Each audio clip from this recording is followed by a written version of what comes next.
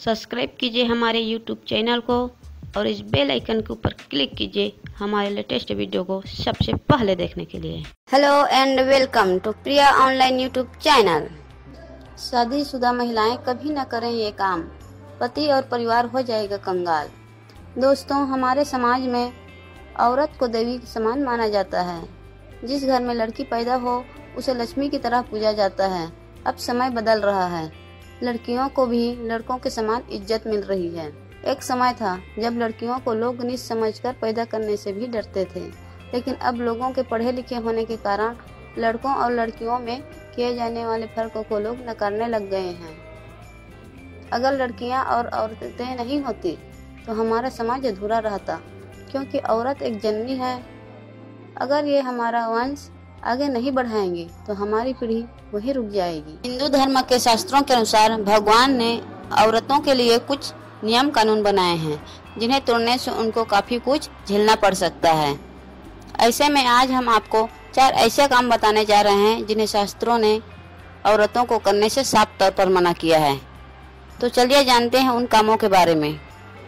जो औरतें घर में शाम के वक्त भी सोई रहती है, कामों को निपटाने में आलसी करती है घर के सदस्यों से बात बात पर लड़ाई झगड़ा करती है, वहाँ का माहौल सबसे अधिक निगेटिव हो जाता है। ऐसे घरों में माँ लक्ष्मी दूर ही रहना पसंद करती है। जिस घर की महिलाएँ पैर की ठोकर से दरवाज़ा खोलती है, वहाँ से भी धन की देवी माँ लक्ष्मी नाराज़ हो जाती है। इसलिए अगर आपके घर में ऐसा होता है तो तुरंत रोकें। घर की महिलाएँ अगर रात में रसोई घर में जूठे बर्तन रख कर सोती हैं तो यह गरीबी को दावत देने जैसा है, ऐसा ना होने दें। जिस घर की महिलाएँ प्रातः काल के बजाय रात या शाम को झाड़ू लगाती है, उस घर में दरिद्रता आती है। इसलिए इस आदत को बदलवाएँ। अगर किसी घर की महिलाओं को देर तक सोने की आदत हो, अगर किसी घर की महिलाओं को देर तक सोने की आदत हो तो वह घर और परिवार के लिए अशुभ हो सकती है। देर तक सोने वाली स्त्रियाँ अपने पति और उसके परिवार व ससुराल के लोगों की असफलता का कारण बनती है। घर में सुख शांति के लिए हफ़्ते में एक बार समुद्री नमक से पोछा लगवाएँ। ऐसा करने से माँ लक्ष्मी की कृपा बनी रहती है।